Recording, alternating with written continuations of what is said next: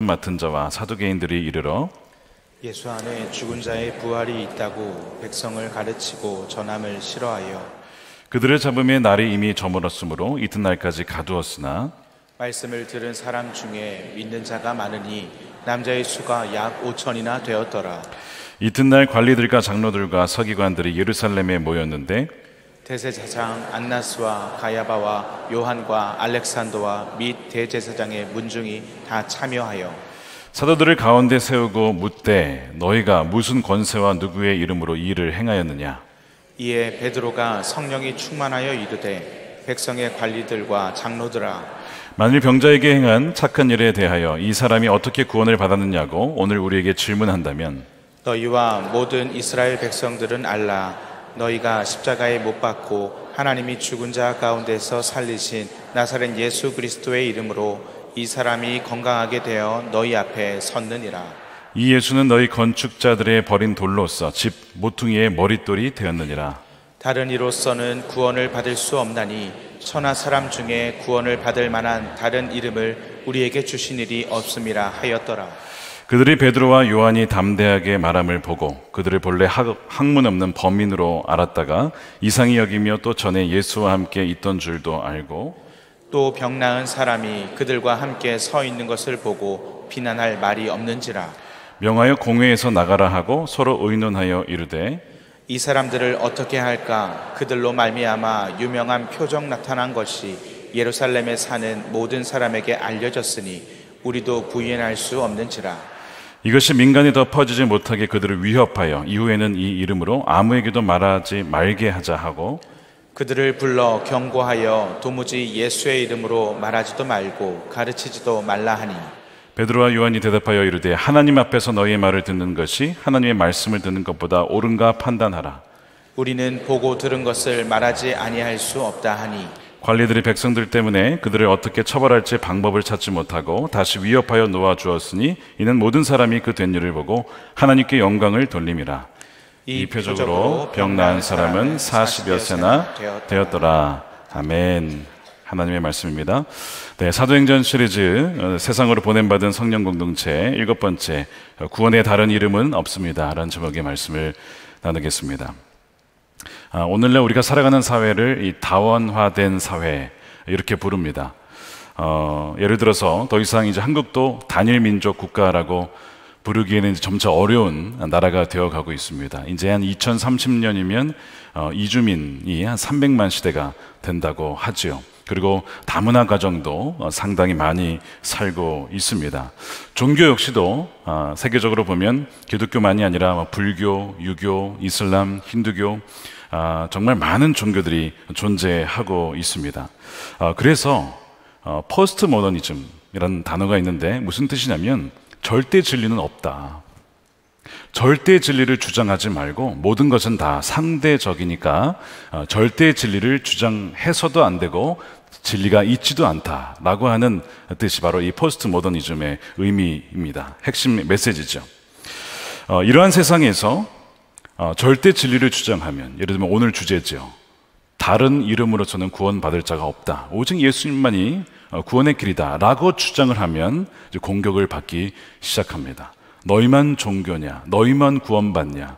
뭐 이런 식으로 어, 정말 벌떼와 같이 공격을 하게 되는 세상입니다. 그래서 믿는 이들도 심지어 종교 지도자들도 어, 종교가 여러 개 가지가 있고 그래서 절대 진리는 없으며 절대 진리를 주장하지 않음으로써 우리가 서로 평화롭게 공존하자 이렇게 주장하는 심지어 종교 지도자들도 있습니다. 이것을 종교 다원주의라고 합니다.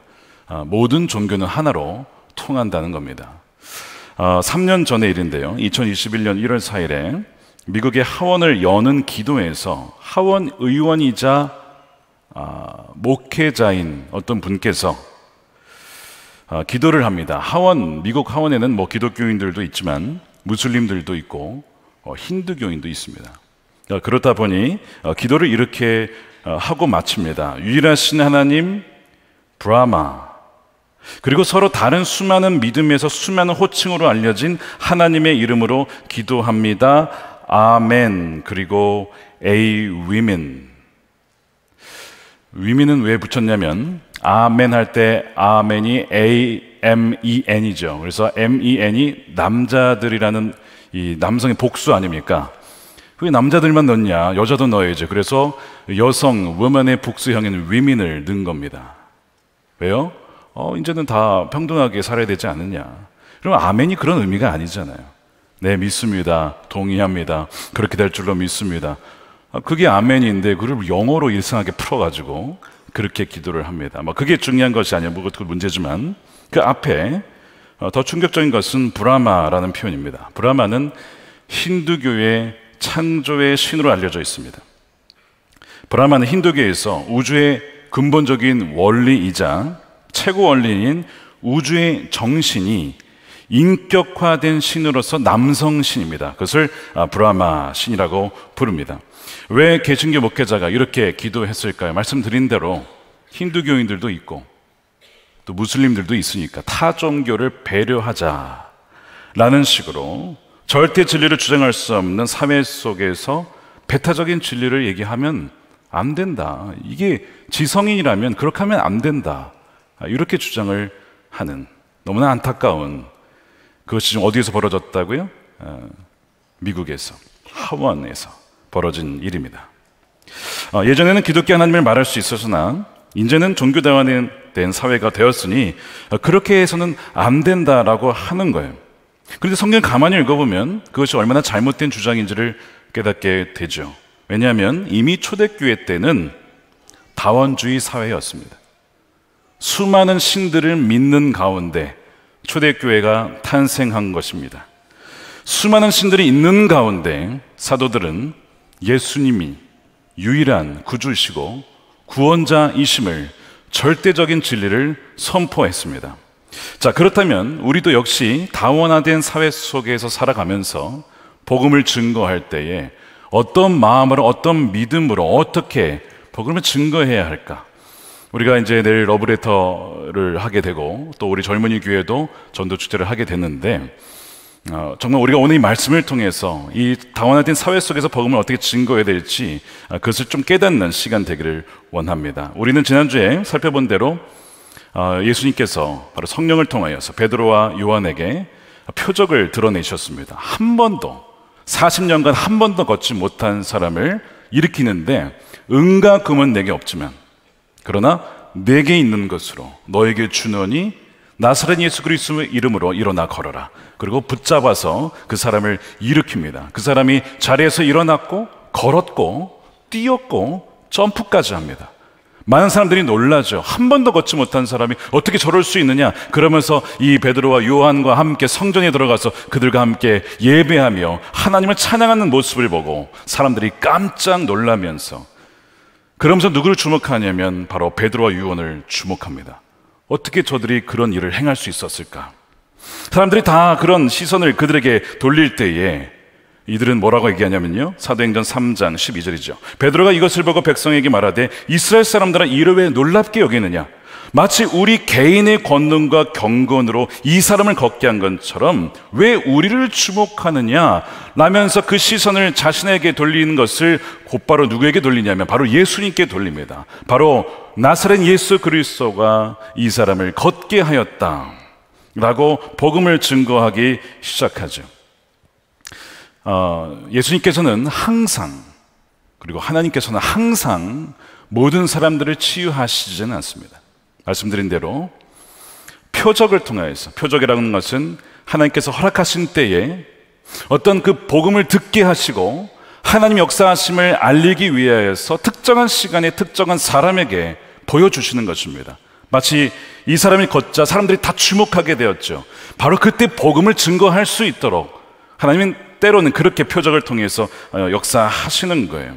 어찌됐든 사람들이 주목했을 때 이 베드로가 구약 성경, 그들의 익숙한 구약 성경을 가지고 예수님이 메시아다라는 것을 증언을 합니다. 그러면서 무슨 얘기를 하냐면 제가 다 읽진 않겠지만 모세가 신명기 18장에서 나 이후에 오리라 한 하나님 말씀하신 선지자가 있는데 바로 이 예수가 그 선지자다.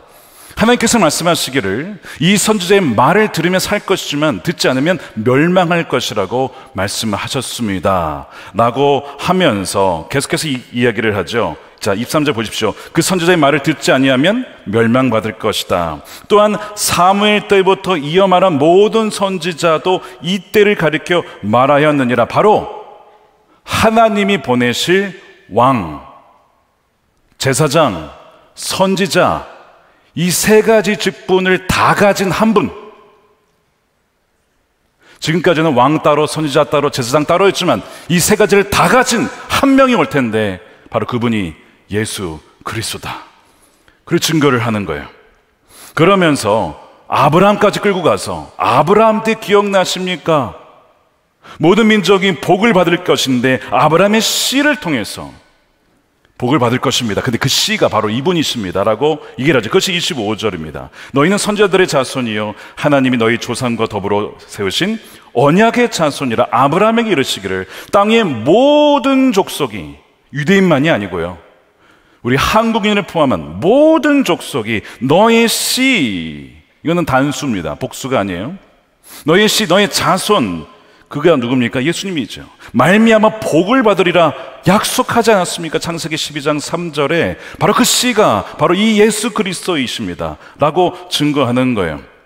그러면서 자, 이 모든 설교를 다 요약을 하면 이런 겁니다.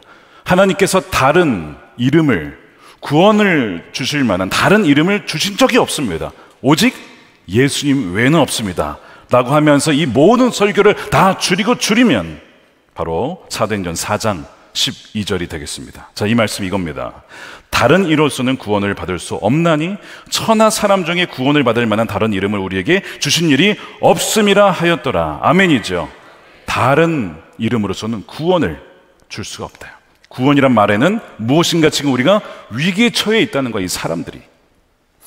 가만 놔두면 엄청난 피해를 당할 그 위기에 처한 사람들을 구원할 수 있는 자는 단 한 명인데 바로 예수 그리스도다. 그 말씀을 하고 있는 거예요. 그래서 모하메드도 아니고 석가도 아니고 공자도 아니고 오직 나스렛 예수 그리스도만이 유일한, 유일한 구원의 길이라고 하는 진리를 지금 선포하고 있어요. 이거는 절대적이고 배타적인 진리입니다. 이분이 구원자면 다른 분은 구원자가 아니란 뜻이거든요. 이런 면에서 굉장히 배타성을 띠고 있어요. 다른 것은 비슷해 보여도 구원의 길이 아니라고 하는 겁니다. 베드로의 이 메시지를 유대 지도자들이 끔찍하게 싫어했습니다. 사실 그들도 메시아를 기다렸어요. 그들도 로마 압제에서 우리를 구원해 줄 정치적 영향력이 강력한 지도자를 원했습니다. 근데 지금 이들에게 거슬리는 것은 무엇이냐면 우리 민족만을 위한 메시아여야 합니다. 근데 지금 뭐라 그래요? 우리 민족만이 아니고 모든 민족을 구원할 메시아래요. 이게 굉장히 불편한 거예요. 왜요? 우리는 선택받은 민족인데. 다른 민족도 구원하면 그게 뭘 자랑거리가 있고 뭐 좋을 게 뭐가 있느냐 이거죠. 우리만 구원해 주셔야 되는데 모든 민족을 구원하다니 그런 메시아가 어디 있어? 굉장히 불쾌해지는 겁니다. 이것이 굉장히 거슬리게 되는 거예요. 이 유대 지도자들은 철저한 민족 우월주의자였습니다. 그래서 메시아는 오직 자신만을 위한 메시아여야만 했습니다. 그런데 베드로는 예수님은 온 열방을 위한 구원의 메시아, 메시아라고 어, 구, 어, 고백을 하니까, 주장을 하니까 그것이 굉장히 어, 불쾌했던 것이고 그, 그것이 박해로 이어지게 됩니다. 그래서 감옥에 들어가게 되죠. 4장 2절 3절입니다. 예수 안에 죽은 자의 부활이 있다고 백성을 가르치고 전함을 그들이 싫어하여 그들을 잡음에 날이 이미 저물었으므로 이튿날까지 가두었으나 감옥에 갇혀요. 첫 번째 초대교회 박해가 시작이 된 거예요. 예수님 안에 부활이 있다. 죽음을 사망시킨 부활이 예수님 안에만 있다라고 하는 복음을 전하자 이들이 핍박을 받고 감옥에 갇히게 돼요. 여러분, 복음을 담대하게 정말 전하면요. 그럼 배타성을 갖고 있고 진리기 때문에 어쩔 수 없어요. 이게 진리면 다른 건 아니기 때문에 사람들은 굉장히 거슬려하고 싫어합니다. 그래서 복음 전환자들을 미워합니다. 안 믿는 사람들에게 복음을 전해 보면 거절하죠. 심지어 가족이라도 하더라도 가족이라 하더라도 복음을 거절하고 복음 때문에 싸우게 됩니다. 그런 일이 벌어지게 되는, 되는 거예요. 그런데 예수님께서 뭐라고 하셨냐면 세상에서는 너희가 환란을 당할 것이다. 그러나 담대하라. 내가 세상을 이기었노라. 아멘입니까? 담대하라. 너희가 정말 경건하게 살고자 하면 박해를 받을 거야. 그런데 내가 이미 세상을 이겼으니까 내 승리가 누구의 것이라고요? 저와 여러분들의 것인 줄로 믿습니다. 이미 주님께서 다 미리 받기 받기 이전에 이 모든 것을 다 말씀해 주셨어요. 염려하지 말라고 말씀을 하십니다. 복음은 능력이에요. 그래서 사도들이 복음을 증거하지 어떤 일이 벌어지냐면 남자만 5천 명이 믿게 됩니다. 자, 사도행전 4장 4절이죠. 말씀을 들은 사람 중에 믿는 자가 많으니 남자의 수가 약 5천이나 되었더라. 남자의 수만 5천이나 되었더라. 어디서 많이 보던 표현 아닙니까? 어디서 보셨어요? 오병이었대. 오병이었대. 어, 그 당시에 먹은 사람이 남자만 5천이었다. 이런 표현이 나오잖아요. 지금 왜 이 표현을 쓴지 아십니까? 예수님이 행하셨던 놀라운 표적과 기사와 이적이 지금 그대로 누구에게 벌어지고 있어요? 사도들을 통해서 이루어지고 있어요. 예수님은 죽으신 게 아니고 부활하셔서 승천하시고 이제는 성령으로 그들의 안에 오셔서 사실상 그들 안에 주님이 계셔서 이제는 그들을 통하여서 역사하고 있음을 보여주고 있는 것이죠. 그때는 빵을 먹었지만 지금은 생명의 말씀을 이들이 먹고 살아나고 있다. 그것을 보여주고 있는 거예요. 그것이 남자만 5천 명이니까 여성과 아이들까지 포함하면 얼마나 많은 사람들이 믿었다는 뜻입니까? 그것을 지금 이 누가, 이 사도행전을 쓴 누가는 그것을 보여주고 싶었던 것입니다. 그들은 이제는 예수님을 믿었고 말씀을 받아들였기 때문에 죽어도 살고 살아서 믿는 자는 영원히 죽지 아니하리라. 이 부활의 능력이 그들에게 이제 주어지게 된 것입니다. 어, 이 놀라운 성령의 역사가 이들만에게 벌어진 게 아니고 지금 그 예수 그리스도를 나의 구세주로 믿고 따른 이들에게도 동일하게 나타나는 능력인 줄로 믿으시길 축복합니다. 이것이 지금 우리에게도 벌어지는 일이라는 거예요. 예수님만이 구원의 길이라고 외치는 진리 주장은 유대인들만 불편하게 한 게 아니고 여러 사람 불편하게 만드는데 또 누구도 힘들게 만들었냐면 바로 로마 아, 지도자들도 포함입니다. 자, 왜냐하면 로마 제국은 공식적으로 종교 다원주의 국가였습니다. 그리스 로마 신화라고 알려진 수많은 남신 여신들이 얼마나 많은지 몰라요. 실제로 그들은 그 신을 믿었어요. 의지했습니다. 그래서 아, 전쟁의 신 누구예요? 아레스라고 하는 신을 뭐 제우스 뭐 우리 다 아시잖아요. 그런 그리스 로마의 신들을 숭배했단 말이죠. 그래서 다 이제 믿을 수가 있는데 조건이 있어요. 너희들이 신을 선택해라. 그러나 너희들이 선택한 신을 믿을 수 있지만 조건이 있다. 가이사, 즉 시저라고 하는 로마의 황제가 아, 황제를 너희는 주라고 고백해야 된다. 주님이라고. 그런 조건으로 다른 신들, 너희가 선택한 신들을 믿어도 돼. 이런 조건을 내걸었어요. 자, 그런데 지금 그리스도인들은 누구만이 주님이십니까? 예수 그리스도만이 주님이십니다. 카이사르, 즉 가이사 큐리우스, 큐리우스는 주란 뜻이거든요. 가이사 큐리우스여야 되는데 이 그리스도인들은 그리스도스 주님이라고 고백하는 거야. 이거를 타협하지 않는 겁니다. 그래가지고 여기에서 바로 갈등이 벌어지게 되는 거예요. 어, 이, 이것이 바로 로마 제국의 어, 상황이었습니다. 타협을 하지 않았어요. 결국에는 그것을 만약에 부인하려고 하면 이들은 죽음을 어, 불사하더라도 어, 자신의 신앙을 거부하지 않았습니다. 우리가 여기서 알아야 될 것이 바로 이겁니다. 많은 이들이 지금은 종교다원주의니까 지금은 이제 배타적인 주장을 해서는 안 된다. 과거에는 그럴지 몰라도 지금은 그래서는 안 돼. 이렇게 얘기를 해요. 아니에요. 교회가 탄생했을 때 종교다원주의 사회였습니다. 지금보다 더 많은 신들이 있었어요. 어떻게 보면. 그런 사회 속에서 예수님만이 유일한 구세주라고 사도들은 고백을 했던 것이죠.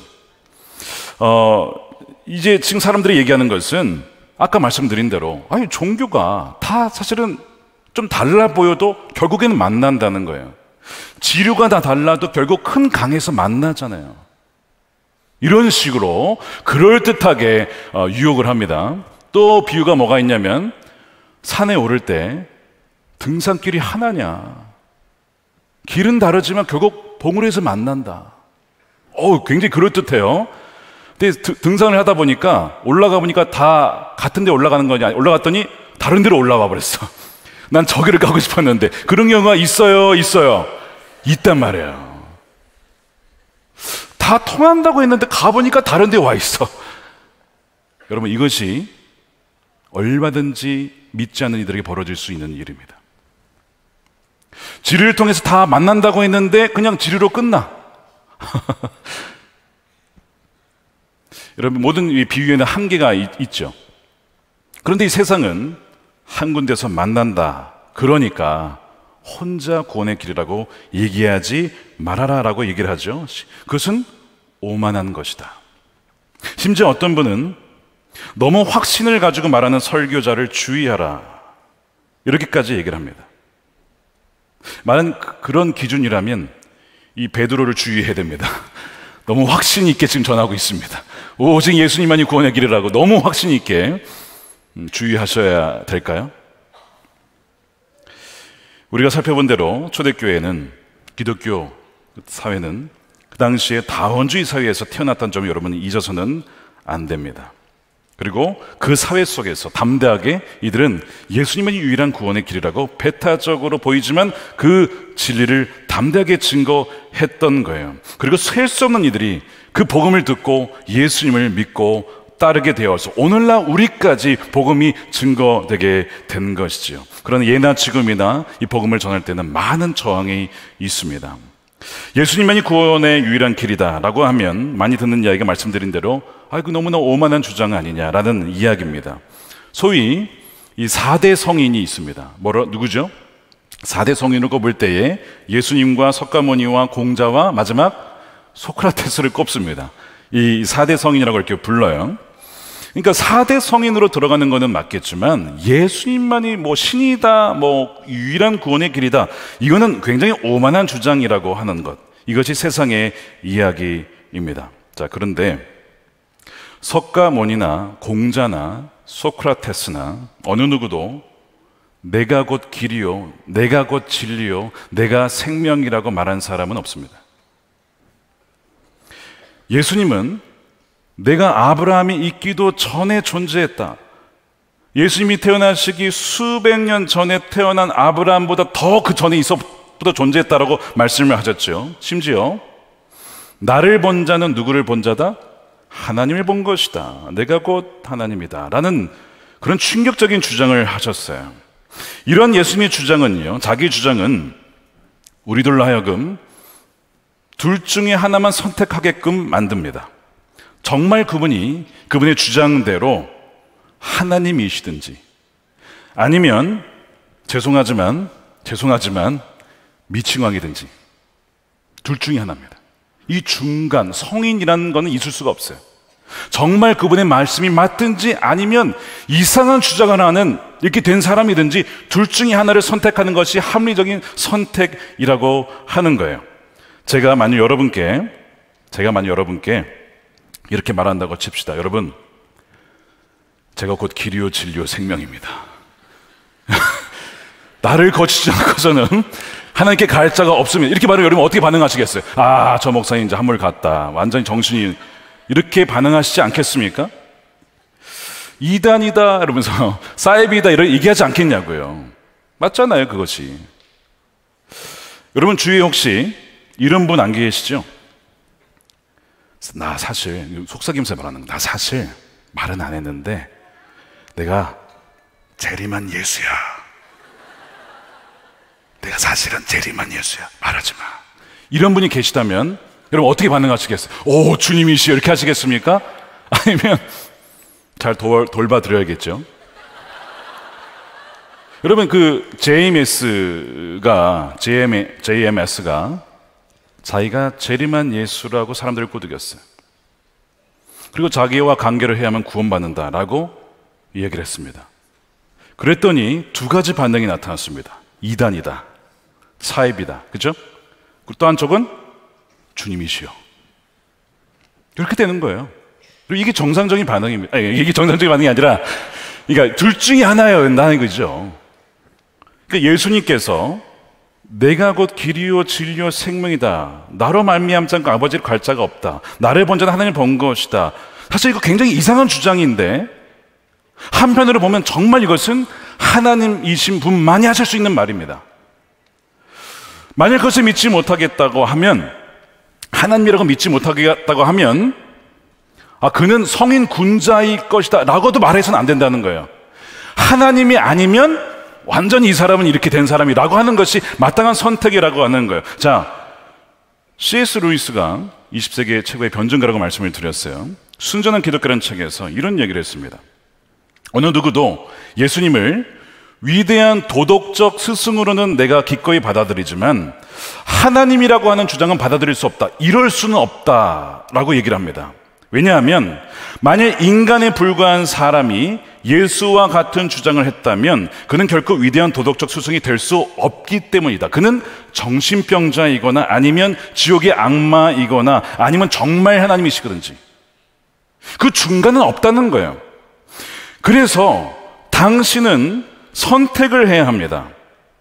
그를 미치광이로 그보다 못한 인간으로 그래서 그를 바보로 여겨서 입을 틀어 막을 수도 있고 악마로 여겨 침을 뱉고 죽일 수도 있습니다. 아니면 그의 발 앞에 엎드려서 하나님이요 주님으로 부를 수도 있습니다. 그러므로 위대한 인류의 스승이니 성인이니 어쩌냐는 선심성 죄송합니다. 이번 좀 강하게 썼어요.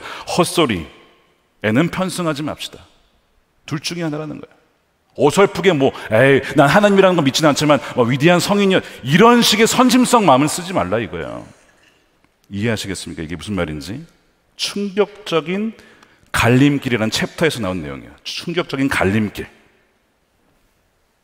근데 사실 이것이 베드로의 주장입니다. 지금.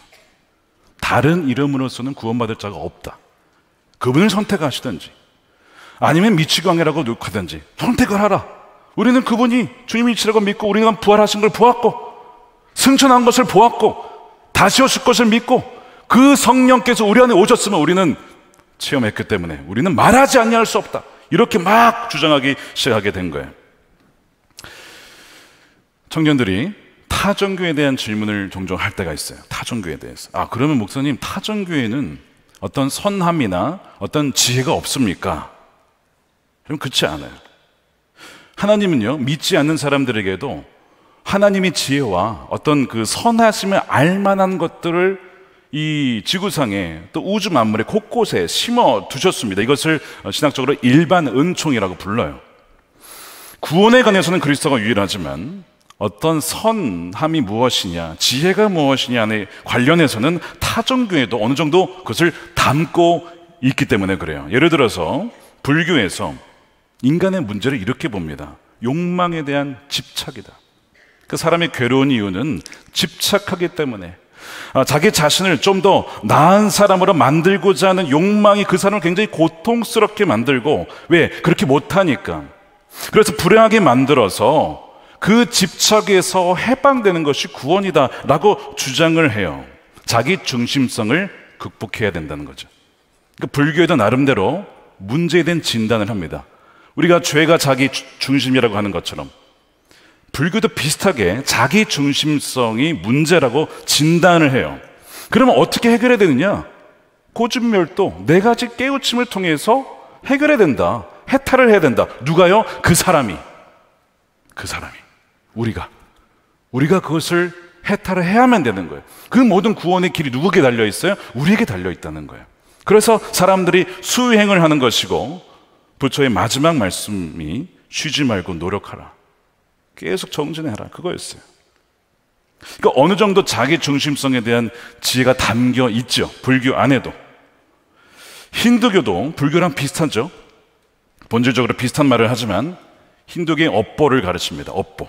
업보는 카르마인데 우리가 생각한 것이나 말, 행동으로 지은 원인 때문에 말미암는 결과입니다. 그러니까 지금 이 세상에서 겪는 모든 우리의 아픔은 뭐 때문에 그런 거예요?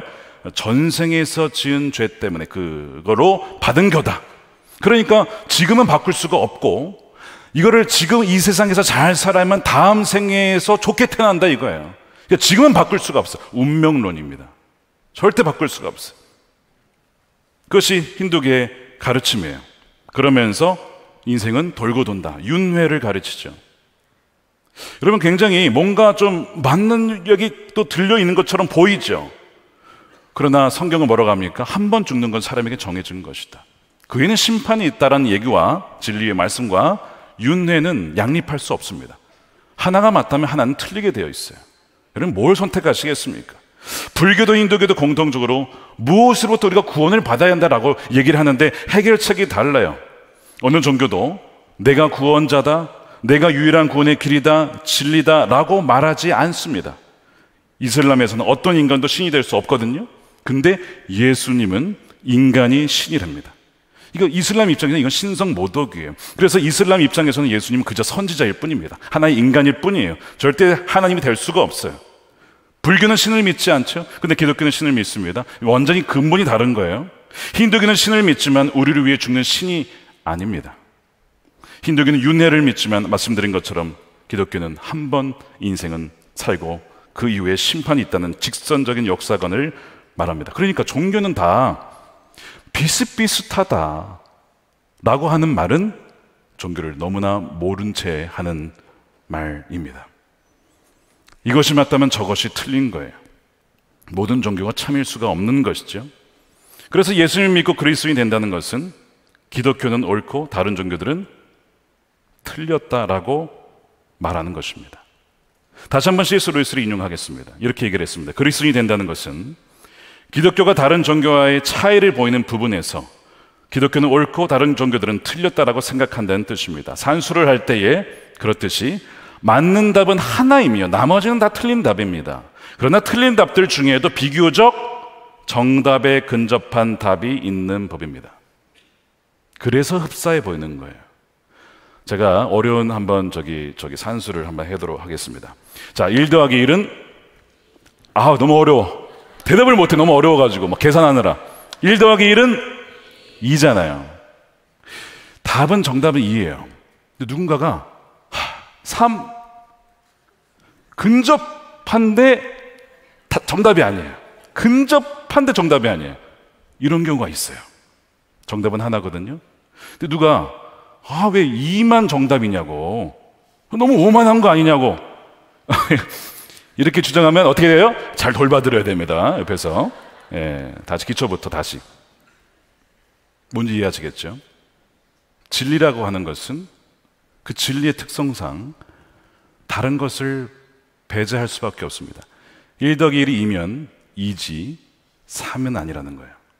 근접할 수는 있지만 3과 2는 같지 않습니다. 다르다는 거예요. 근데 많은 사람들이 3을 보고 거의 같아.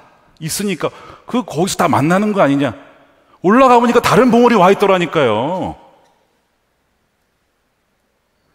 그런 일들이 죽고 난 다음에 있다면 이건 정말 큰일 일이죠. 아, 죽음 뒤에 뭐가 있어? 여러분 없으면요. 뭐 다행이죠. 근데 있으면요. 영원히 지옥에서 하나님과 떨어져서 어둠 속에서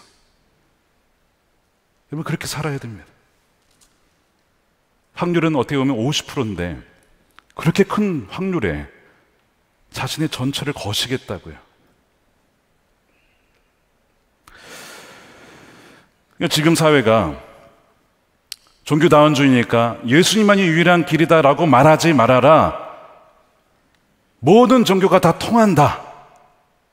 이렇게 얘기를 해요. 배타적인 주장이라는 거예요. 근데 유일한 길이 아니야 라고 말하는 그 주장도 무슨 주장이에요? 배타적인 주장입니다.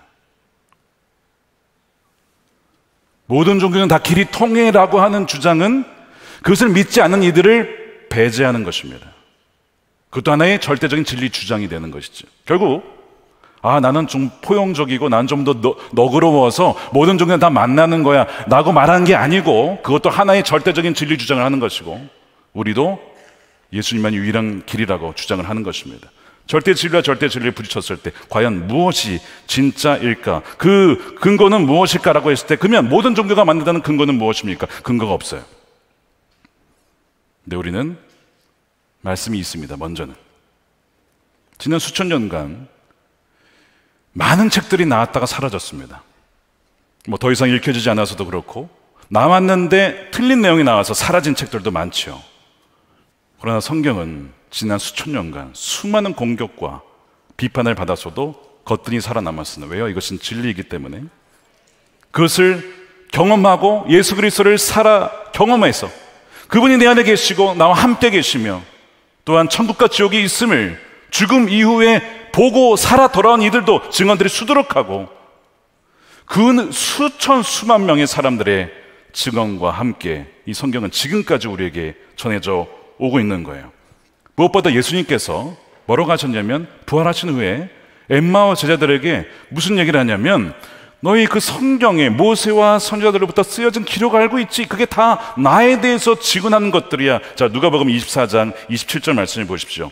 그리고 예수께서는 모세와 모든 예언자에서부터 시작해서 성경 전체에서 자기에 관하여 써놓은 일을 그들에게 설명하여 주셨다. 너희가 읽었던 그 모든 말씀이 다 나에 대한 말씀이었고 예언이었고 그게 나야. 라고 그들에게 보여주신 것이죠. 내가 유일한 길이요 진리와 생명이야. 나로 말미암지 않고는 아버노 아버지께로 갈 자가 없어. 그분이 죽음을 이기시고 부활하셔서 아 그분을 믿는 저마다 죽어도 살고 살아서 믿는 자는 영원히 죽지 않냐는구나. 그를 본 이들이 담대하게 목숨을 걸고 복음을 증거한 것입니다. 이거 첫 번째 증거예요. 두 번째 말씀드린 것처럼 사도들의 변화된 삶입니다. 베드로와 요한은요 갈릴리 어부였어요. 죄송하지만 배우지 않은 분들입니다. 학교하고는 거리가 멀었던 분들이죠. 그런데 그 누구보다도 탁월했고 담대했습니다. 그렇게 복음을 전하고 있어요. 사람들이 깜짝 놀래요. 자, 어떻게 놀라냐면 13절에 그들이 베드로와 요한이 담대하게 말함을 보고 그들을 본래 학문 없는 범인 아, 원래 이들은 교육 안 받았던 사람들 아닌가? 이 사람들이 대학 나왔었던가? 그렇게 알았다가 이상이 여기며 도대체 이 수많은 지식과 이 담대함은 어디서 나온 것이지? 또 전에 어 예수와 함께 있던 이들인데 이런 얘기를 하고 있는 거예요. 완전히 다른 사람이 된 것을 봤어요. 새로운 정체성을 가진 자들로 보게 된 것입니다. 보통은 사회적으로 자신보다 위에 있는 사람들 앞에서 사람들은 다 그렇지는 않지만 눌려 있거나 자신감을 잃기 마련입니다. 지금 여기 누가 있습니까? 대제사장들, 사두개인들, 유대 지자들 다 있어요, 거기에. 자신의 목숨을 죽일 수도 있는 사람들입니다. 전혀 눌려, 눌리질 않아요. 전혀 쫄지를 않아요. 너무 담대한 거예요. 예전에는 베드로가 무서워했습니다. 대제사장이 나를 죽일까봐. 그래서 예수님을 세 번 부인한 거 아닙니까? 겁쟁이였어요. 두려움이 많았습니다. 근데 그 사람이 그 사람 만나 싶을 정도로 완전히 다른 사람이 되어 버린 거예요. 그 이유는 부활하신 주님을 만났고, 첫 번째. 두 번째, 성령이 그 안에 계시기 때문에 나의 인생이 나의 행위와 나의 어떤 퍼포먼스와 교육이나 그런 거에 달려 있는 것이 아니라 전적으로 예수님의 의로움과 그분의 십자가의 부활의 능력에 달려 있음을 그들이 믿었기 때문에 담대하게 그들을 지금 복음을 증가하고 있는 거예요. 자, 그래서 아무에게도 말하지 말라고 막 막으려 해도 오히려 막 더 큰 소리로 외칩니다. 자, 19절에 베드로와 요한이 대답하여 이르되 하나님 앞에서 너희의 말을 듣는 것이 하나님의 말씀을 듣는 것보다 옳은가?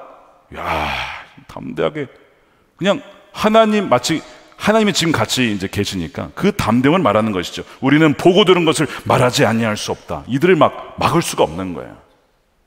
이들은 예수 그리스도라고 하는 흔들리지 않은 반석 위에 자신의 인생을 지금 세운 거예요. 흔들리지 않은 반석 위에.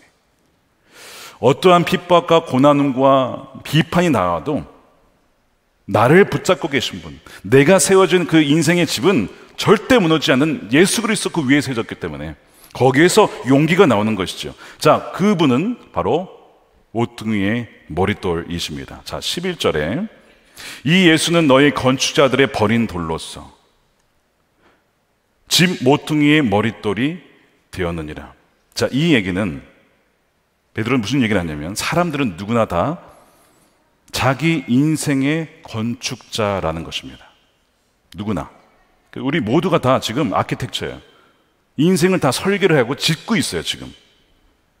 뭐 일에서, 가정에서, 사회에서 어떤 영역, 모든 그 모든 걸 다 종합해서 인생의 어떤 집을 건축해 가고 있습니다. 그렇죠? 그, 그 건축자예요. 세상은 어떤 곳이라고 하는 세계관이 있고 또한 앞으로 인생을 내가 어떻게 살아가야 한다라고 하는 나름대로의 가치관을 다 갖고 있습니다. 그 스트럭처를 다 갖고 있어요. 어느 정도. 인생을 집을 짓고 있는 거예요. 그런데 어떤 사람의 인생은 이것이 딱 세워지다가 오늘 갑자기 그냥 확 무너지네.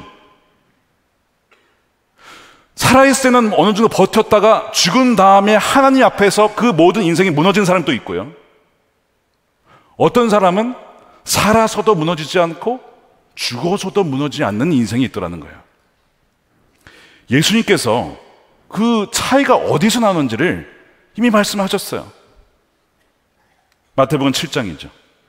24절에 그러므로 누구든지 자, 누구든지 모두가 다 인생의 건축자입니다.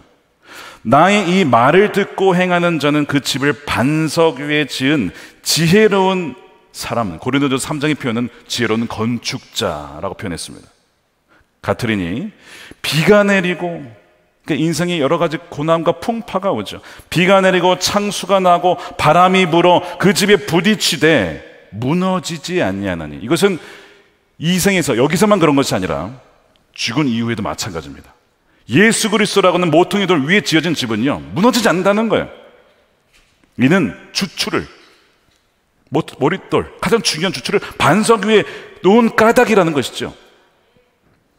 26절에 반면에 나의 이 말을 들었는데, 어, 이제 잘 보세요. 안 들은 게 아니에요.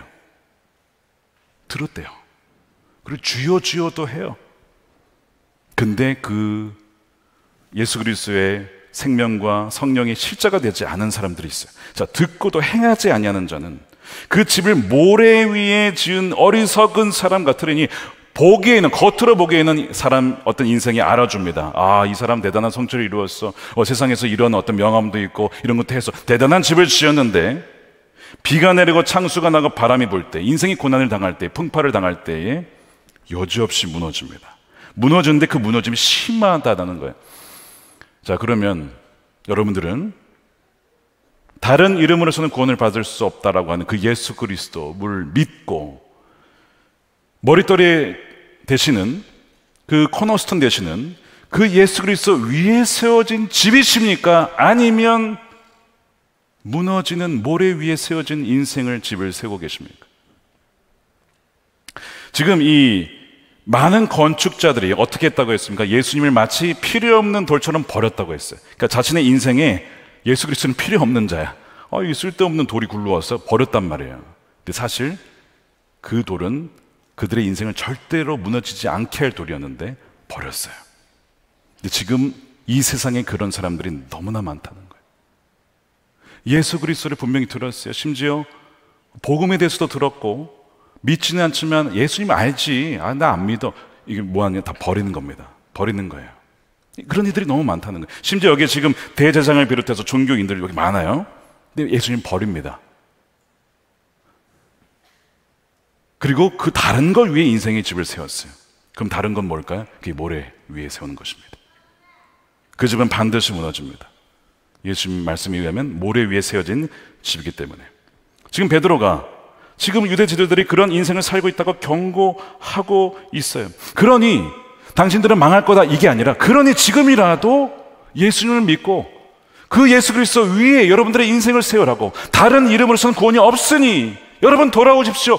지금 이 얘기하고 있는 거예요. 굉장히 포용적입니다. 근데 그들은 받아들이지 않아요. 너무나 안타까운 거예요, 이것이. 자, 내가 유일한 구원의 이름 예수 그리스도를 통하여 진정 구원을 받고 있는지 어떻게 알 수 있을까? 내가 모퉁이 돌 대신 예수님 위에 인생의 집을 짓고 있는지 아닌지를 어떻게 알 수 있을까요? 이거를 점검해 보시면 됩니다. 내가 인생에서 가장 중요하게 여기며 살아가는 것이 무엇인가? 좀 더 구체적으로 질문하면 이것입니다. 삶에 있어서 나에게 가장 안정감을 주는 것은 무엇이냐? 집이라고 하는 것은 기반이 흔들리면 무너지기 마련이거든. 나에게 가장 안정감, 아, 나 이것만 있으면 나는 인생이 너무 안정감이 있어. 너무 평안하고, 어, 걱정이 없어. 라고 하는 그 안정감이 뭐냐 이거예요. 그것이 예수님이십니까? 아니면 그 어떤 것입니까? 그 어떤 것이 여러 가지가 있는데 몇 가지만 꼽아 볼게요. 먼저 돈과 소유가 있습니다. 여러분 돈과 소유는 중요합니다. 우리가 경제 활동을 함에 있어서 돈 없이 살아갈 수 없는 우리는 시대에 살고 있습니다. 우리가 살려면 돈이 없이는 살 수 없기 때문에 우리 청년들을 포함해서 많은 이들이 경제적인 활동을 하면서 한편으로는 걱정을 하면서 살아요. 우리 청년들이 이 대출금, 학자금 대출 갚기 위해 이걸 어떻게 갚지? 여러 가지 재정 고민을 합니다. 월세 어떻게 내지, 생활비 어떻게 감당하지, 버는 것보다 나가는 게 훨씬 많거든요. 걱정을 합니다. 그래서 돈을 벌기 열심히 일을 해요. 그리고 그렇게 해야 하고 또한 수고하고 땀을 흘리는 것이 마땅합니다. 노동의 대가가 있으니까요. 씨를 뿌린 만큼 거두게 되는 것이죠.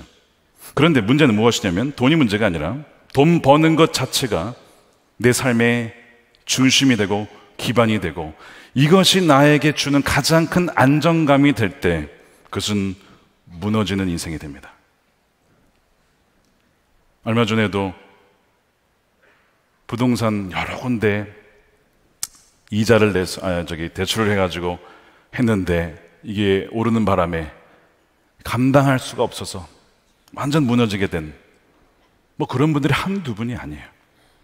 그러면서 고백한 것이 부동산이 저의 우상이었습니다. 부동산을 내 삶의 가장 안정감으로 삼았다는 거예요. 감사하게도 깨달았으니까. 깨달았으니까 회개하고 이것을 원래의 자리로 종의 자리로 돌려놓으면 되거든요. 누가본 12장에 부자가 자신의 평생 재산을 모아서 더 이상 쌓아둘 것이 없습니다. 여러분 상상해 보세요. 쌓아둘 것이 없이 너무 재산이 많아요. 막. 안 기쁘세요? 이 상상해보자 이거예요. 재산이 너무 많아가지고, 야, 고가는 말 지어도 지어도 너무 막 재산이 너무 많아가지고. 그러니까 이분이 어떻게 느꼈냐면, 그걸 딱 바라보면서, 성경이 너무 정확한 거야. 자기에게 얘기하는 자기에게. 내 영혼아 여러 해 수년간 쓸 물건을 많이 쌓아뒀으니 마음 놓고 먹고 마시고 즐겨라. 너무 기분이 좋은 거야. 야 나 이것만 있으면 뭐 일 안 해도 살 수 있어. 막 이러면서 막 그러고 있는데 하나님이 딱 말씀을 하시는 거예요 어리석은 사람아 오늘 밤 너의 영혼을 내가 찾을 거다 너가 장만한 이 모든 것들이 누구의 것이 되겠느냐 재물을 쌓아두면서도 하나님께 대하여서 부여하지 못한 사람이 이와 같도다. 여러분 혹시 이것이 우리의 모습 아니까 아무리 뭐 재산이 많고 적고를 떠나서 재산이 없어도 아 나 그렇게 되면 참 행복할 텐데 그렇게 되면 참 내가 안정감이 있을 텐데 라고 하는 사람들 그 주춧돌이 소유요 돈인 사람입니다. 어떤 사람이 한 장례식장에서 다른 친구에게 물었대요. 어, 그 친구가 얼마나 남기고 떠났나? 라는 질문을 했습니다. 뭐 그런 걸 물어봐요. 근데 그 친구가 뭐라고 했는지 아세요? 모두 다 남기고 떠났네.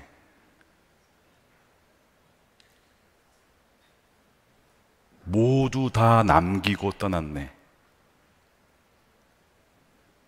여러분, 가져갈 수 있는 거 아무것도 없어요. 다 두고 가는 겁니다. 근데 마치 천국에 가져갈 것 마냥 자기의 온 인생 거기에만 올인한 사람이 있어. 주춧돌이 돈입니다. 여지없이 무너집니다. 인기나 명예나 권력과 같은 무형의 소유물에 의지한 사람도 있어요. 물론 여러분 성경에 보면 하나님을 경외하는 사람들을 하나님께서는 그의 이름을 높여 주신다는 말씀이 곳곳에 등장합니다. 가장 대표적인 구절이 어, 창세기 12장 3절에 2절, 2절 3절에 아브라함의 약속하실 때 무슨 약속을 하셨냐면 내가 너의 이름을 창대하게 할 거야. 이 얘기를 하세요. 그래서 우리가 지금 아브라함 이름을 알고 있는 거예요. 아브라함 이름 너무 유명해진 거예요.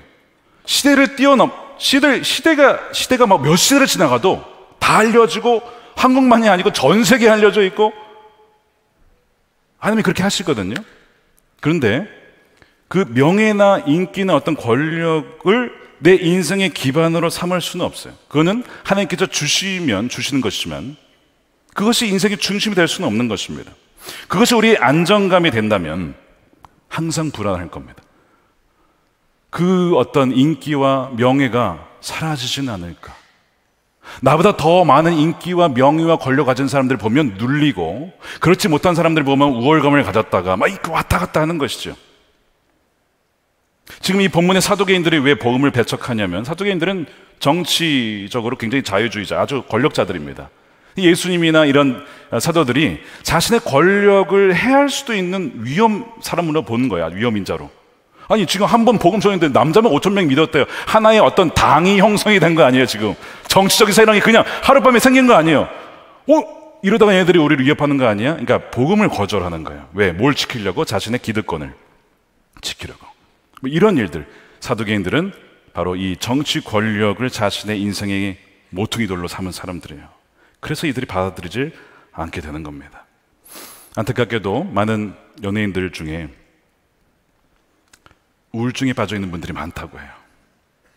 나는 가수인데 연예인이고 방송인인데 더 이상 노래할 수 없거나 새로운 앨범 내지 못하거나 낸다 하더라도 사람들이 주목하지 않을 때에 반응하지 않을 때 방송이 나올 수 없을 때 어떤 생각이 드는 거예요? 나는 누군가? 나는 뭐지?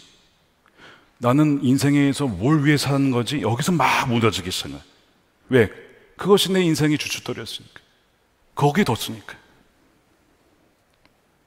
그래서 비슷한 또 다른 모퉁이 돌이 일과 성취예요. 그 일에 미치게 되면 중독이 되죠. 자신의 건강을 해치면서 일합니다. 열심히 일했는데 자기가 죽어가는지도 모르고 일하다가 어느 날 죽는 거예요. 혹은 가족을 완전히 관계를 다 끊어버리고 가족마저 희생하면서 일하는 경우도 있어요. 이 정체성이 뭐냐면 바로 나의 일과 성취에 두었기 때문에 그렇습니다. 나는 전문가다, 작가다, 의사다, 배우다, 뭐 정치인이다 여러 가지가 쭉 정체성이 있잖아요.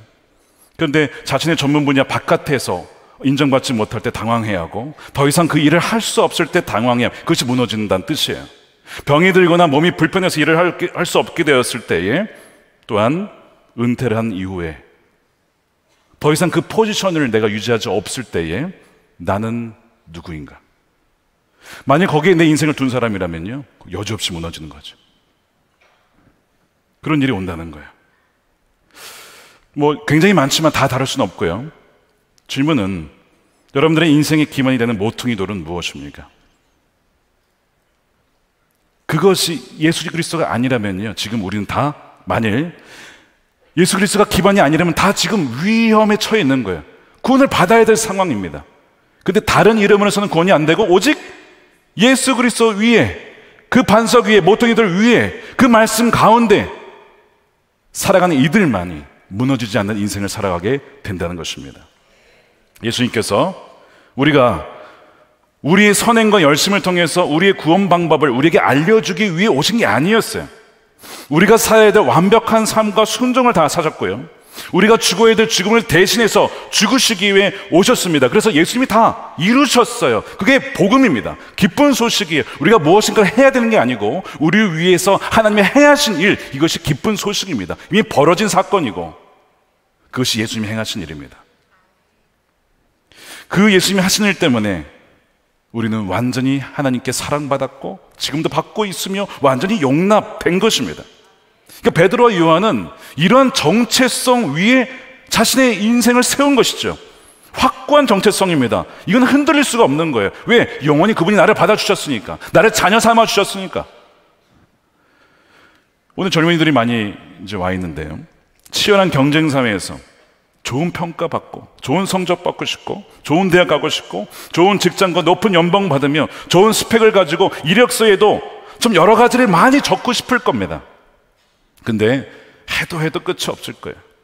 아무리 해도 만족함이 없을 것이고 아무리 추구해도 만족함이 없을 것입니다. 왜 언제나 우리보다 더 높은 사람, 더 앞서간 사람이 있기 때문에 비교하다 보면 나는 따라갈 수가 없어.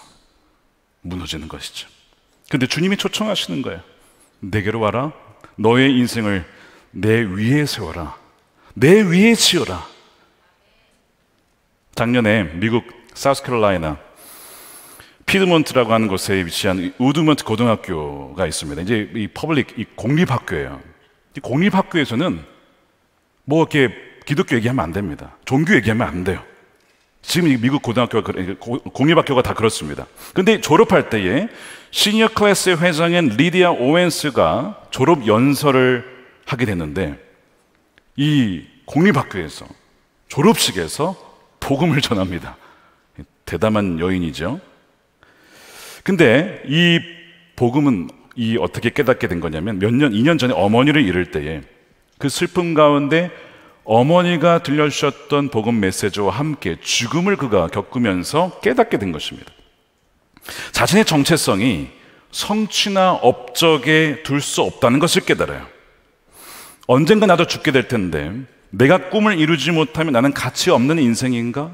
나는 실패자인가?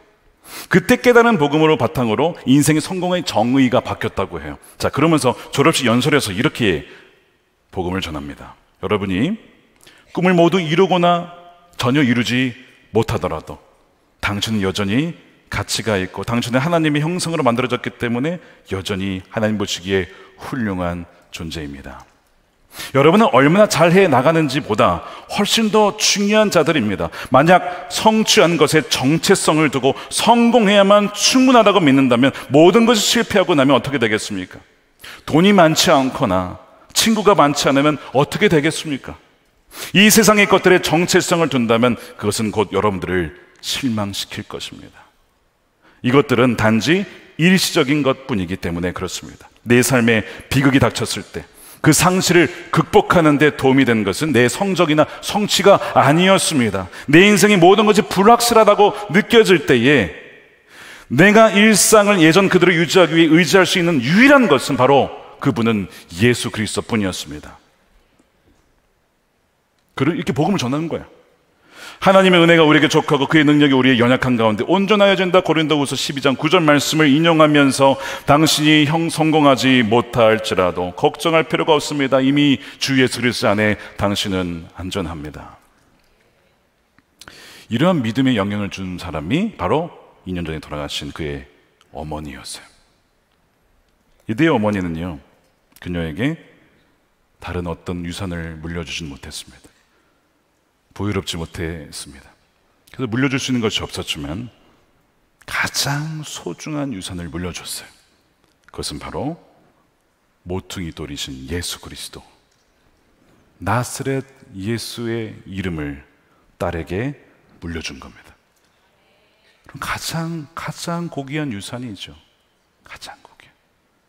우리 이제 5월에 가정의 달을 맞이하면서 우리 자녀들에게 줄 수 있는 가장 가장 중요하고 영원히 변치 않을 유산이 무엇일까요?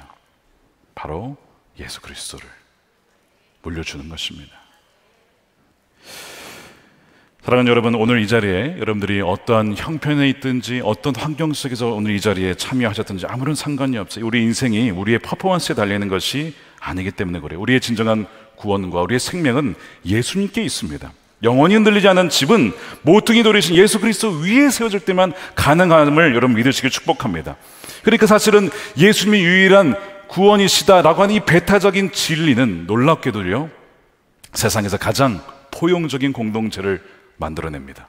남자나 여자나 유대인이나 헬라이나 높은 자나 낮은 자나 가진 자나 갖지 못한 자나 장애인이나 비장애인이나 상관없이 모든 사람을 하나님의 자녀로 품어준 가장 포용적인 공동체 바로 예수 그리스도라고 하는 유일한 진리를 통해서 그렇게 세워진다는 것입니다. 오늘 이 자리에 오신 우리 여러분들이 바로 이 흔들리지 아니하는 모퉁이들 대신 예수 그리스도 위에 그 반석 위에 인생을 세워 평생토록 예수님과 동행하며 주님의 기쁨으로 살아가는 여러분들의 삶이 되시기를 우리 주님의 이름으로 축원드립니다.